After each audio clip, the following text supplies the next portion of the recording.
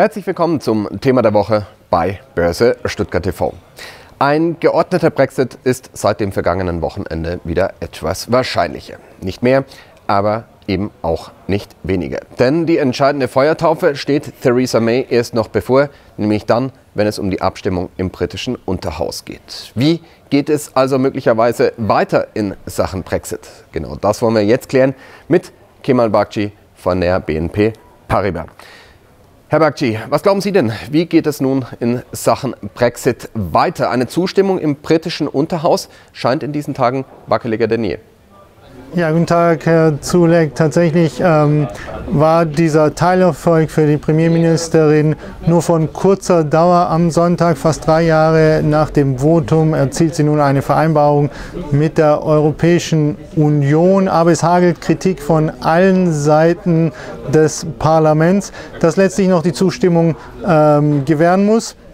650 äh, Abgeordnete sind angehalten und da wird es im Moment schwierig. Jedoch ähm, ist es so, dass die Wirtschaft nichts mehr fürchtet als einen ungeordneten Brexit am ähm, 29. März des nächsten Jahres. Und ähm, das scheint auch ähm, der, das wichtigste Argument der Premierministerin zu sein, dass ähm, sie eben mit einem ungeordneten Brexit droht. Der würde dann zu den berüchtigten Lastwagenstaus und, und äh, Probleme im Flugverkehr und vielleicht sogar mangelnde Medikamente im Krankenhaus führen.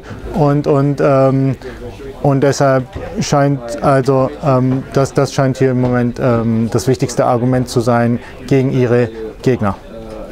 Eine mögliche Ablehnung im britischen Unterhaus würde Großbritannien und Brüssel vor unwägbare Herausforderungen stellen. Welche wirtschaftlichen Konsequenzen wären denn aus Ihrer Sicht im Falle eines britischen No zu befürchten? Ja, die wären vermutlich äh, verheerend. Auch jetzt ähm, schon spürt zum Beispiel die deutsche Wirtschaft, ähm, dass die Ausfuhren nach Großbritannien gefallen sind um 4% im vergangenen Jahr, entgegen des Trends im äh, Rest Europas.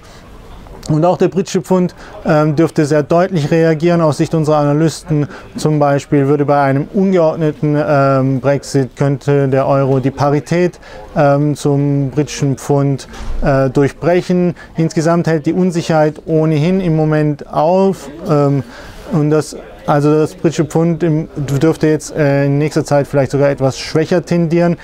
Aber an sich ist der Ausblick für die Wirtschaft, für die Wirtschaft Großbritanniens gar nicht so schlecht. Unsere Analysten gehen davon aus, dass ähm, die äh, Zentralbank die geldpolitischen Zügel locker halten dürfte und ähm, die Wirtschaft in Großbritannien um etwa 1,6 Prozent im nächsten Jahr wachsen dürfte, nach äh, mageren 1,3 Prozent in diesem Jahr, setzt voraus, dass eben ähm, der geordnete Brexit gelingt.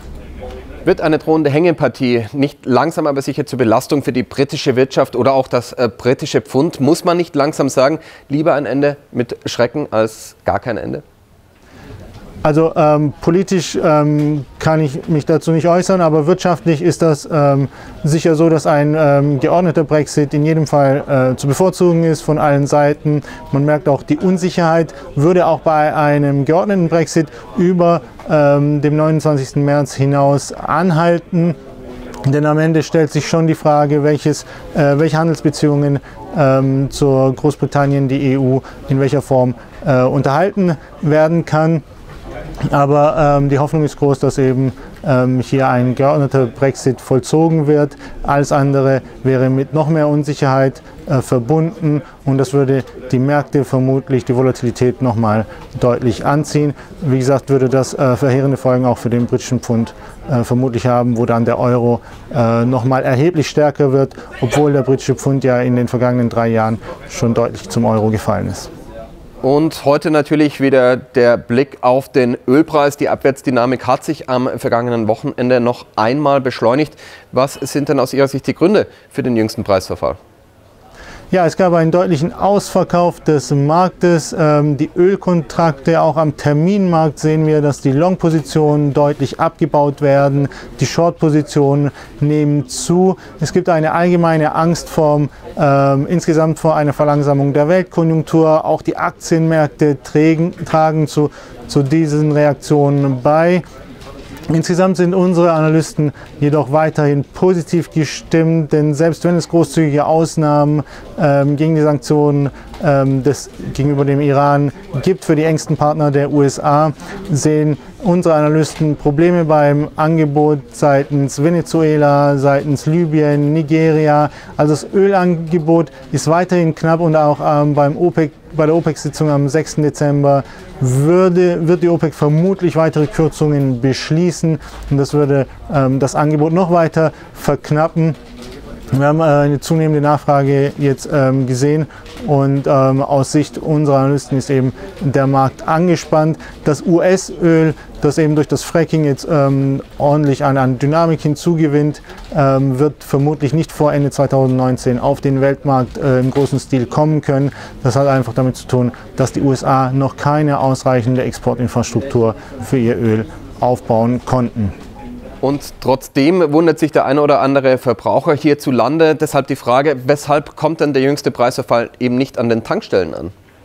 Ja, dazu gibt es ja ähm, verschiedene Argumente seitens der Logistik und, und der ähm, Transportvereinbarungen. Aber ähm, wünschenswert wäre es sicherlich, dass irgendwann auch ähm, bei den Verbrauchern die niedrigeren Preise ankommen. Das könnte vielleicht die Konjunktur auch noch mal ordentlich anschieben, denn nach dem heutigen IFO-Indexergebnis zeigt sich, dass eben die wirtschaftliche Erholung in Deutschland vielleicht doch noch ähm, auf sich warten lässt. Abschließend wie immer noch die Frage, welche Werte, welche Produkte standen zuletzt bei Ihren Anlegern im Fokus? Ja, wir sehen eindeutig, dass ähm, unsere Kunden sich wieder long positionieren. Im DAX äh, rege wird natürlich der Ölpreis gehandelt nach den starken Bewegungen am Freitag von über 5%. Und auch Wirecard ist wieder ein Thema. Kemal Bakci von der BNP Paribas, vielen Dank nach Frankfurt. Sie, liebe Zuschauer, schauen Sie auch nächste Woche wieder rein, wenn es heißt Thema der Woche bei Börse Stuttgart TV.